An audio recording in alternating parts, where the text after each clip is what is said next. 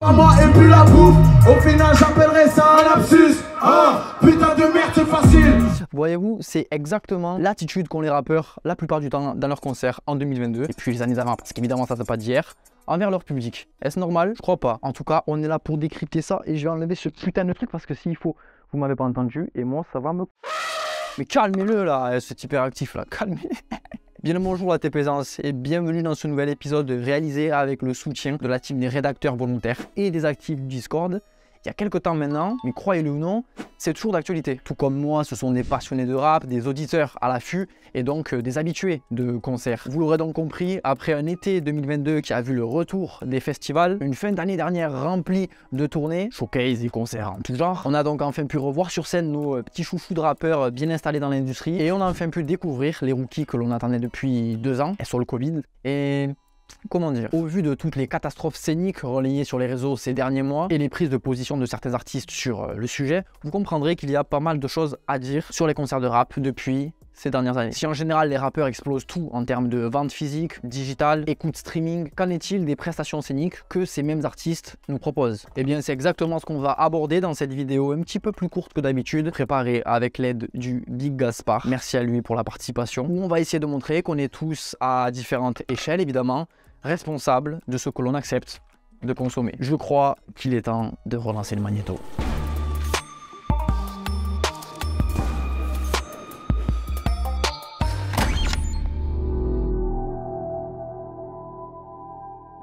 Avant d'aborder les grosses tournées des Zénith, les Bercy et autres main stage de festivals en tout genre, commençons d'abord par parler d'une étape dans l'économie du live qui est plutôt bien connue de nos chers rappeurs, les fameux showcases. Avec peu de moyens techniques et sans travail de mise en scène particulier, beaucoup de rappeurs choisissent de se produire en club euh, à, divers moments de l'année pour pouvoir quand même rentrer de l'argent, se produire sur des sets réduits en temps et surtout très souvent en qualité. Et oui, nos chers rappeurs ne sont pas tous des euh, acharnés de boulot pour le live. Ajoutez à cela le playback normalisé qui nous donne juste l'impression d'avoir un pantin devant nous qui gesticule sur une musique, choix scénique qui est d'ailleurs très critiqué dans euh, d'autres genres musicaux car euh, impensable. Bon, et en même temps, quand tu dois performer à 3h du matin face à une foule de fans complètement euh, pétés qui sont déjà excités ne serait-ce que par la présence de l'artiste ou le fait qu'ils ont un fort taux d'alcoolémie, bon voilà, pourquoi se faire chier à établir un certain show de qualité?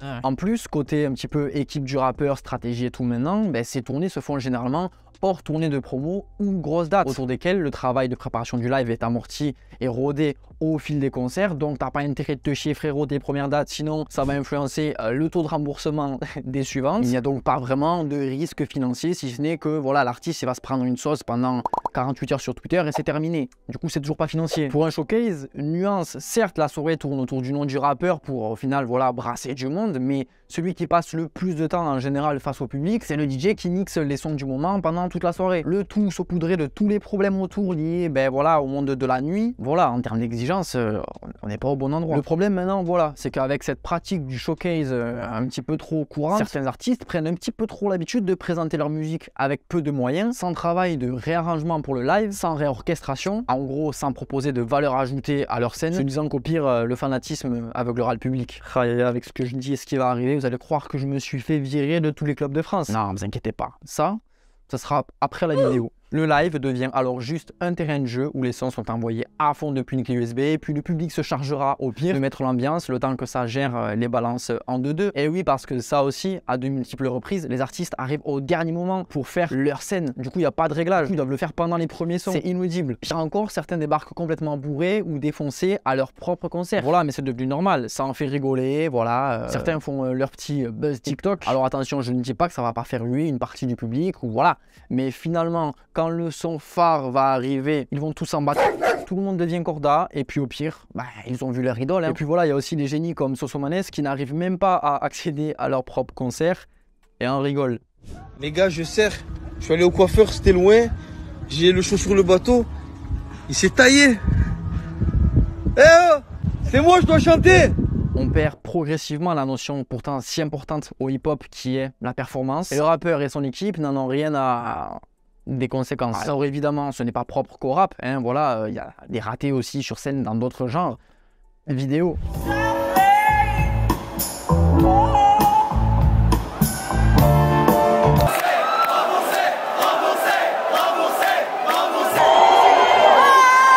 Et pour le rap, bah difficile quand même de se rattraper pour un rappeur quand il est plus capable d'articuler ou alors qu'on a affaire à un zombie sur scène. Troisièmement, peut-être qu'il n'a juste pas envie d'être là ce soir ou qu'il n'a tout simplement plus rien à prouver aux gens qui l'écoutent et le mec là il vient, il s'en bat les... Je dis beaucoup ce mot la vidéo heureusement que je le dis pas sinon elle aurait sauté déjà.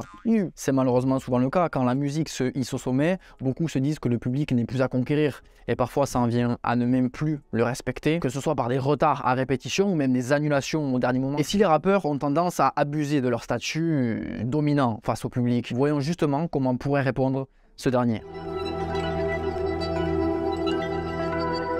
Si on en arrive à banaliser les dérives et accepter la médiocrité, c'est aussi parce que le public rap, il faut le dire, manque souvent d'exigence. Dans une ère où euh, tout est incroyable et où il en faut peu pour être heureux, au Balou, on dirait qu'il suffit juste pour un rappeur de ne jouer que ses tubes, de prévoir un minimum d'entertainment euh, voilà, avec la foule et, et ses potes sur scène. Ça y est, ça pogo dans tous les sens. Et d'ailleurs, en parlant de pogo, comme vous auriez pu le remarquer, on assiste depuis quelques temps à sa surutilisation ah, en concert, comme s'il n'y avait que ça pour s'exprimer ou alors montrer voilà, qu'on soutient l'artiste, qu'on valide ce qu'il produit sur l'instant, mais à tel point que parfois ça en vient à donner des scènes grotesques.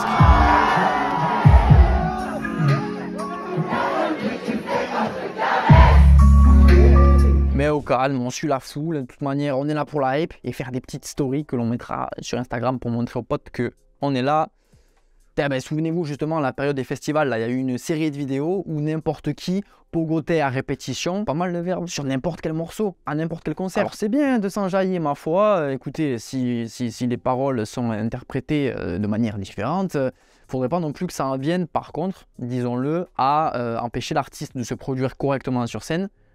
C'est pas ce qu'Alpha One a eu ça Oh, il faut ramener l'armée de terre pour faire la sécu, mon gars, wesh je sais pas quand est-ce que je referai un concert, mais je ferai en sorte que ce soit bien bien sale. Merci Panam, désolé encore. Alpha One a été obligé de couper son concert, si certains l'ont raté. Ça fait très longtemps que j'avais pas vu ça, comme quoi, même dans une euphorie positive, eh bien l'artiste peut perdre le contrôle sur son public. Sans oublier qu'au milieu, attention, il y en a qui sont pas tous là pour être euh, bienveillants. Et en parlant de bienveillance, on se souvient très bien de toutes les vidéos qui avaient tourné aussi cet été, des rappeurs qui se recevaient des projectiles dessus. Et sur le petit pont euh, de SCH, c'est devenu n'importe quoi. Alors ok, la performance peut décevoir, ou c'est peut-être pas l'artiste que tu veux voir à 13h45, ma foi. Mais on est où là? Faut pas s'étonner qu'après les vigiles sautent dans la foule et que ça se fasse dégommer en backstage. Hein. Pour finir, on se rend compte qu'arrivé à un certain niveau de popularité, le concert, qu'il soit sous forme de showcase ou en festival, n'est plus du tout une mise en danger l'artiste. Et comme je l'ai plus ou moins dit tout à l'heure, c'est d'autant plus vrai que lorsqu'il se fait hors circuit de promotion de nouvel album. La notoriété acquise par les chiffres et les certifications rendrait en quelque sorte le rappeur intouchable. Avoir une performance banale, c'est banalisé. Avoir une performance banale, c'est banalisé. Big Flo Oli. Et puis au pire, comme l'a dit Booba chez le frérot euh, Le Chroniqueur Sale, là, dans l'interview en trois parties, apparemment faire un concert de 3 heures au Stade de France, c'est moins fatigant que faire ses 15 premières minutes d'échauffement avant la muscu. C'est bien en soi, il assume lui au moins. Et ça en dit long quand même sur un petit peu, euh, voilà. C'est la présence, la prestance et l'ambiance qui ressort de la fournaise et qui est le public au final qui va tout faire. Du côté des organisateurs maintenant, on pourrait se dire, ouais, au pire, c'est eux qui mettent le yébi, ils vont peut-être euh, rôder l'artiste avant, mettre des petits coups de pression. Alors autant vous dire que, et j'ai pu le constater au fil de ces dernières années, de ce côté-là, ils s'en battent de si la performance, elle est bien faite ou pas. Hein. Du moment où il y a une bonne recette à la billetterie qui va permettre de financer le prochain euh, concert, euh, c'est tout ce qui compte. Et puis dans de très nombreux cas aussi, il faut pas oublier que ces organisations, elles sont généralement très éloignées des codes du rap et préfèrent le laxisme à un encadrement cadré. Et puis au pire, elles en ont pas spécialement les moyens. Voilà, ça peut se comprendre des fois qu'elles préfèrent ce laxisme-là, puisque quand on sait que des rappeurs débarquent en équipe et imposent leur manière de faire un petit peu à tout le monde, d'ailleurs sur ce coup, on peut féliciter le public qui a bien foutu la merde lorsque tout ce bordel a retardé de une heure l'arrivée euh, de B2O sur scène. Bon, in fine, tout le monde laisse tout passer. Mais déjà, est-ce que les rappeurs eux-mêmes se posent la question de ce que doit être un bon concert? Dans le rap et plus qu'ailleurs, le phénomène de buzz est très présent et on voit fréquemment des artistes pop comme ça dans un laps de temps très court. Avec des carrières propulsées du jour au lendemain, et eh bien on peut se demander comment l'artiste peut faire pour gérer et répondre vite à la demande autant de l'industrie que du public, de le voir très rapidement sur scène. Parce que même si c'est un One Hit Wonder qui a percé là il y a trois mois sur son TikTok, ça y est, ça veut direct le voir dans sa ville. Et là, quand je dis ça, j'ajoute même pas à cela le fait qu'il y a quand même un gros turnover de hype dans le rap game et que donc, ben voilà, ça se comprend que certains aussi veulent donner le tout pour le tout en récupérant un max de Kishta très vite et en ne voulant surtout pas que le buzz retombe. Mais le problème, c'est que des fois, ça devient un petit peu trop inadapté. Comme par exemple la programmation de Dreamer et PCN en première partie de Letty à la Cigale, à peine signée chez Sony. Après voilà, c'est pas une critique Sony, non, non, attendez, à l'autre fois ça m'a valu d'être inventé raciste, ils vont dire que je suis un meurtrier maintenant. Évidemment, je rigole, ça pue le forcing. À l'opposé, on a aussi des rappeurs qui, par l'esprit des concerts, cherchent à revenir sur une hype passée, comme la section d'assaut qui a justement euh, fait une tournée euh, en 2022, euh, c'est ça? Vous me dites ceux qui sont y allés, j'ai oublié. Tournée où ils auront d'ailleurs mis une belle carotte à leur public avec leur CD qui ne sortira finalement jamais. Bref, de ce qui ressort globalement, c'est qu'on voit que derrière tout ça, eh bien, il y a une grosse sollicitation de l'industrie qui ne veut pas perdre une miette potentiellement euh, attrapable euh, liée à euh, la vie commerciale de l'artiste. Trace compliquée pour rien, vous avez compris? Parfait artistes qui n'oublions pas, hein, où la plupart du temps ils mettent un gros billet qu'ils aimeraient quand même revoir un jour et peut-être en faire de nouveau. Le truc c'est que cette dernière va souvent propulser des artistes inexpérimentés devant un public lui aussi motivé par une hype passagère. Weshden par exemple a longtemps chanté, si ce n'est euh, encore par-dessus ses playbacks puisqu'elle ne maîtrise pas euh, le chant.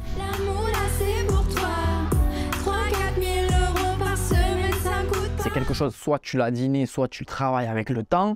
Et là, pour le coup, ça manquait de temps. Ou en tout cas, il n'a pas encore été utilisé pour ça. Mais enfin, la question de l'adaptation des sons aussi ben, au live se pose. Avec des morceaux de plus en plus produits, notamment via cette nouvelle génération qui va creuser les possibilités euh, d'effets de pitching, spatialisation, G-cut et euh, des vocodeurs dans tous les sens, eh bien, difficile de recréer tout ce travail sur scène sans avoir recours à des pistes de playback.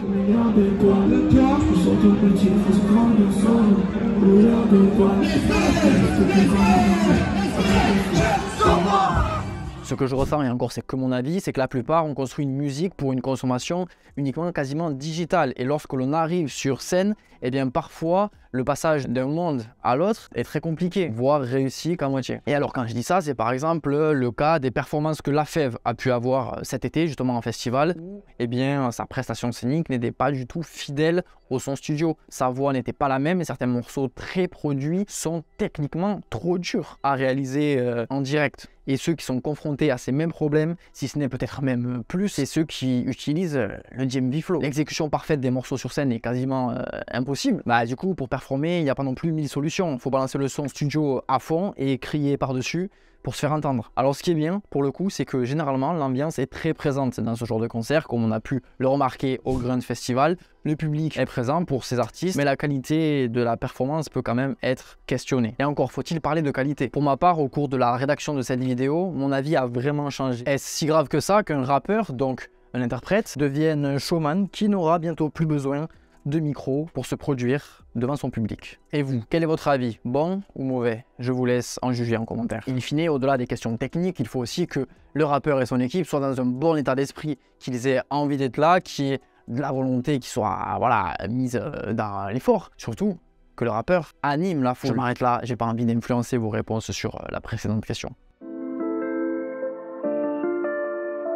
Il est désormais clair que la qualité des concerts qu'on nous propose dépend d'une responsabilité partagée entre rappeurs, tourneurs, producteurs, mais aussi et surtout le public. Ce n'est pas parce que le rap n'est pas initialement très compliqué à produire qu'il n'y a pas besoin d'une grande orchestration euh, qu'on euh, est obligé de se contenter du minimum syndical pour la moindre des performances. Même si parfois ça peut leur échapper, les artistes doivent respecter leur musique autant que les auditeurs qui vont se déplacer et payer pour les voir sur scène.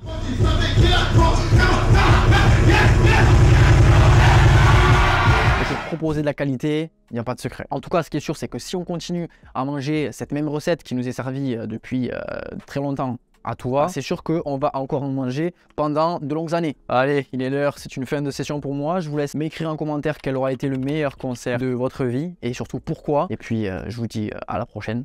Ciao la.